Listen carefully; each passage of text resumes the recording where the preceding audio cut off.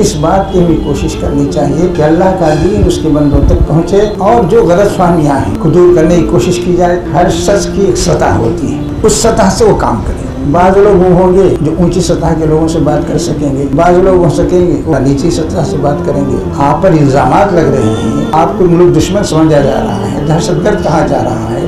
दुनिया में जितनी खराबियाँ होती हैं, वो आपकी तरफ़ मनसूख कर दी जाती हैं। और आप खामोश हैं। इसका इलाज ही यह है कि आप उससे उन हालात को बदलने की कोशिश कीजिए और इस्लाम की सही तस्वीर पेश कीजिए। अपने ज़रिए से भी, अपने अमल के ज़रिए से भी और अपनी कोशिशों के ज़रिए भी।